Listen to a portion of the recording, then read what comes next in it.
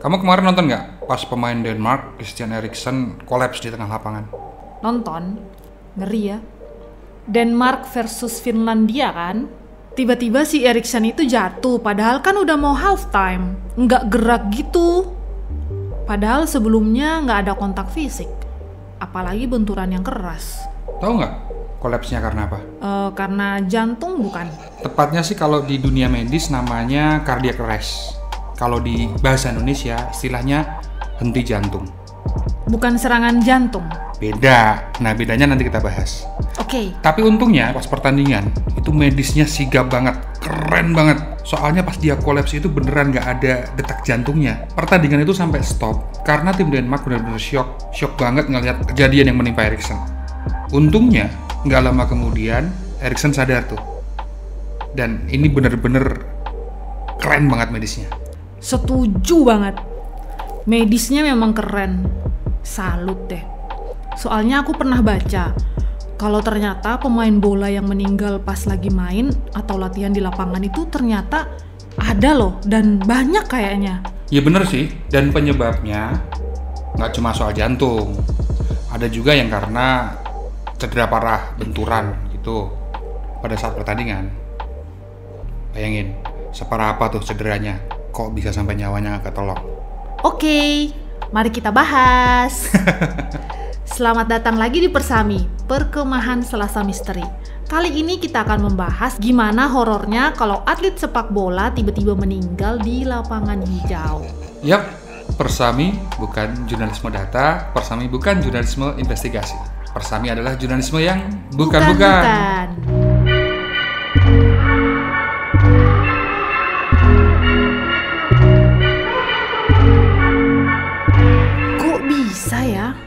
Atlet bisa kolaps gitu? Padahal kan harusnya fisiknya kan terlatih ya. Nah itu dia. Tiap jenis olahraga tuh pasti, pasti ada elemen resikonya kok. Udah nature of the game-nya. Nah, para atlet ini kan memang dilatih buat mengeluarkan kemampuan fisik mereka semaksimal mungkin. Lari ya sekenceng-kencengnya, loncat ya setinggi-tingginya. Jadi jantung ya juga kayak dipaksa gitu. Dan itu ada resikonya, bisa jadi fatal tuh. Makanya, testing atau medical check up setiap pemain itu sangat penting. Jadi biar ketahuan tuh, bukan cuma soal kemampuan main bolanya ya, skill skill individunya ya, tapi juga biar tahu gimana kondisi fisik pada saat mau bertanding. Tapi ya walaupun udah ada tes segala medical check up, cuman kan kadang kondisi biologis itu kan ada kejutannya juga ya kayak Erikson kemarin itu. Betul, itu yang masih jadi misteri. Jantung nih, susah banget diprediksi. Nah, tapi kematian pemain sepak bola itu sebenarnya secara statistik dia bisa dibilang dikit loh. Aku tuh pernah baca di The Guardian, ada penelitiannya nih. Penelitiannya oleh Sanjay Sharma dari St. George University of London. Dia tuh ahli jantung yang juga anggota komite FA, PSSI-nya Inggris. Oh iya ya tahu. Nah, menurut penelitian dia, tingkat kematian pemain bola antara tahun 1997 sampai 2016 itu cuma perbandingannya satu berbanding 14.700 orang. Tapi Yang banyak meninggal itu malah pemain yang masih muda, umur 16, 17, under 20 lah. oh ya, apa karena mereka masih muda, belum pro jadi screening medisnya jadi nggak seketat pemain pro karena masih muda jadi dipikir hmm, jantungnya pasti masih bagus Hmm, ya mungkin juga seperti itu. Aku nggak tahu sih kenapa. Karena ada juga beberapa yang sebenarnya punya masalah jantung dari dulunya, tapi dia tuh nggak bergejala sama sekali. Nih ya, contohnya beberapa pemain yang meninggal karena masalah jantung. Pernah dengar pemain bola namanya Shaq Tiote? Pemain Newcastle United asal Pantai Gading. Tapi ini kejadiannya bukan waktu pas dia main di Newcastle. Pas dia udah pindah ke klub Liga Cina Beijing Enterprise. Dia itu pindah ke Beijing Enterprise sekitar Februari tahun 2017. Tapi bulan Juni masih di tahun 2017 dia pas lagi latihan dia tiba-tiba kolaps. Nah dari tempat latihan dia langsung dibawa ke rumah sakit tapi sejam kemudian dia sudah dinyatakan meninggal dunia. Kesian ya terus penyebab kematiannya apa serangan jantung Henti jantung, bukan serangan jantung. Beda tuh. Nah, bedanya kalau serangan jantung itu kan heart attack ya. Heeh. Nah, kalau di kasus TOT ini salah satu contoh dari henti jantung atau cardiac arrest. Tapi apa sih sebenarnya beda dari dua itu?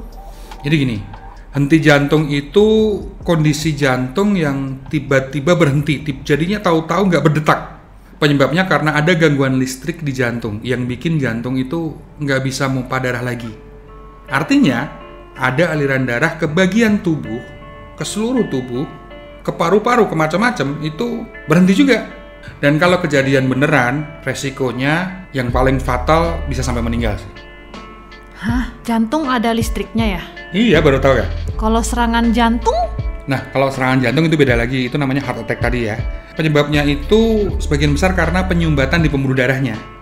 Jadi gini, jantung itu kan tugasnya pompa darah itu ya. Iya, iya. Nah, kalau darahnya kesumbat, kerja jantung jelas terganggu. Ini contohnya gini, eh, pompa air itu kan tugasnya pompa air itu. Mm-mm. Nah, kalau ada ada sumbatan di pipanya, si pompa itu kan akan muter terus tapi nggak ada yang di nggak ada yang ada disedot nggak ada airnya airnya gitu. dan itu panas dan itu rusak. Nah, itu kayak jantung juga gitu. Oke. Kalau terganggu, alirannya darah itu terganggu, lama-lama rusak dan akhirnya stop, berhenti tuh jantung. Nah, momen stopnya jantung itu yang dinamakan serangan jantung atau heart attack. Oke, oke, oke, paham.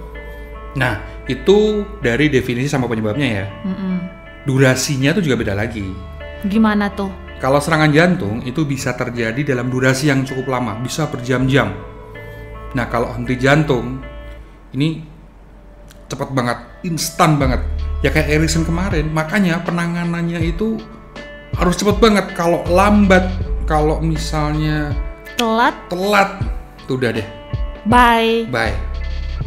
Horor juga ya. Mm-mm. Cardiac arrest ini biasanya karena emang ada kelainan dari sananya, dari bawaan lahir. Dan selain itu juga memang kemampuan jantung orang tuh beda-beda tiap orangnya. Tapi nggak semua pemain meninggal karena cardiac arrest kan? Ya nggak juga, tapi cuma emang banyak ya yang berhubungan sama jantung. Contohnya Philip O'Donnell, pemain Skotlandia, meninggal pada tahun 2007. Dia tuh baru main selama 5 menit doang. Baru Dan- lima menit. Mm-mm. Dan ternyata dia punya masalah di bilik jantungnya. Terus ada Samuel Okwaraji, itu pemain Nigeria, meninggal tahun 1989 pas lagi main buat timnas Nigeria. Pas ditelusuri lagi tuh, ternyata dia mengalami pembekakan jantung dan tensi darahnya tuh tinggi, tinggi banget. Ada lagi Mark Vivian Foe, pemain asal Cameroon itu juga bikin heboh itu. Jantung juga itu. Pokoknya ada banyak banget yang hubungannya sama jantung. Cuma problemnya di sebelah mananya. Itu yang beda-beda. Gitu. Nah itu kan tadi karena jantung ya. Ada nggak yang meninggal selain karena masalah jantung? Cedera mungkin? Pernah kejadian juga di Indonesia kalau nggak salah ya? Ya, memang nggak selalu jantung dan pernah kejadian di Indonesia. Kamu tahu nggak tragedi Jumadi Abdi? Hah? Juwadi Abdi? Nggak tahu. Dia tuh pemain main di Bontang FC, Kalimantan. Kalimantan. Nah, jadi dia pada waktu itu lagi main lawan Persela Lamongan di kandangnya sendiri tuh di Stadion Mula Warman, Bontang. Itu tanggal 7 Maret 2009. Nah, pas dia lagi main nih, sat set giring bola, giring bola, kejar bola gitu dan dia tuh tubrukan sama pemain lain. Das. Nah, perutnya itu kena tendangan pemainnya Persela, Denny Tarkas. Sakit banget pasti. Keras banget soalnya. Jumadi langsung pingsan di situ dan langsung dibawa ke rumah sakit. Parah banget pasti ya? Ah, parah banget. Dan ternyata setelah di rumah sakit itu Jumadi Abdi itu ada luka dalamnya. Itu yang bikin dia kondisinya memburuk sampai berhari-hari dan memburuk dan pada akhirnya tanggal 15 Maret 2009 Jumadi Abdi meninggal dunia. Astaga. Tapi luka dalam itu maksudnya gimana sih? Nah, hasil analisis tim dokter itu bilang usus Jumadi itu ada yang robek. Nah, karena robek itu, sisa pencernaannya jadi bocor tuh ke mana-mana. Dan namanya sisa pencernaan kan harusnya dibuang kan? Iya. Bayangin, itu bocor, ususnya robek, bocor, terus meracuni organ bagian dalamnya. Ih. Gara-gara sepak bola itu. Dan gara-gara tendangan di perut. Iya. Nah, ini ada yang baru ini. lumayan baru, relatif baru lah. Kisah tragedinya Khairul Huda. Eh, kalau itu aku ingat, aku tahu tuh karena kayak baru-baru. Kayaknya belum lama ya. Itu yang kiper itu bukan sih? Bener. Khairul Huda ini kiper legenda Persela Lamongan. Dia itu one man club istilahnya. Setia banget dari pertama dia jadi pemain tahun 99 sampai meninggal di tahun 2017 dia nggak pernah pindah dari Persela Lamongan. Legend nih pasti. Bener.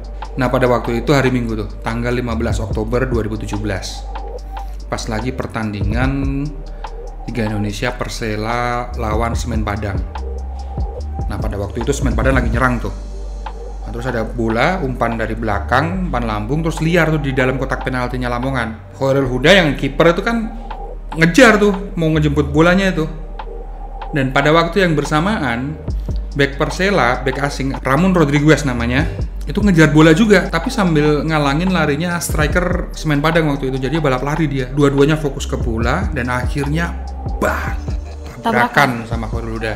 Jadinya back sama kiper satu tim itu tapi tapi karena, fokusnya ke bola dan Pada saling ke, ke arah bola Mm-mm, bareng. nggak tahu dia nggak ada komunikasi dan akhirnya ya, ya Ya di mungkin lah komunikasi kayak. Iya, dan akhirnya tabrakan tuh. Ya ampun, nggak ngebayangin sih gimana kejadian saat itu. Pasti tabrakan itu pasti keras banget ya. Fokus ke bola, tahu-tahu tes, Iya benar. Dan ambruk langsung. Ambruk. Sebenarnya sempat sadar sih Khairul ini. Kemudian dia tahu-tahu jatuh tahu-tahu kolaps kemudian akhirnya dapat perawatan medis terus dibawa ke rumah sakit. Dan sampai rumah sakit ternyata cederanya tuh serius banget. Dada cedera ada leher juga cedera eh, katanya ada yang patah sih sampai itu melukai batang otaknya dan akhirnya meninggal dunia Gimana ya di sepak bola tuh dengan kejadian yang sepersekian detik di lapangan tapi fatalnya itu ya makanya ngeri juga ya. Itu pentingnya kualitas tindakan medis di lapangan. SOP-nya harus jelas, harus gerak cepat. Karena penanganan pertama di cedera itu benar-benar menentukan nasib atlet dan nggak bisa main-main itu. Iya, iya bener. Meskipun ada yang maha menguasai takdir ya, tapi emang fungsi tim medis itu emang vital banget sih kalau ada kejadian kecelakaan-kecelakaan kayak gitu di lapangan. Hmm, ya udahlah. Ternyata di balik sepak bola ada banyak kejadian-kejadian yang ini juga ya mengerikan juga ya. Ya nggak sekedar, Nggak sekedar main 11 lawan 11, 11, faktor-faktornya itu memang harus banyak yang diperhatikan karena ya, emang kalau kayak gitu kan bahaya banget. Risikonya ternyata gede banget tuh. Yes, walaupun tadi statistik kecil ya, Kecil, tapi, tapi kan, kan fatal. ya nyawa tetap Hmm. nyawa kan. Satu nyawa itu lebih berarti, itu berarti banget sih. Ya udahlah ya. Terima kasih sudah mendengar kami di Persami. Kita akan ketemu lagi di episode selanjutnya ya.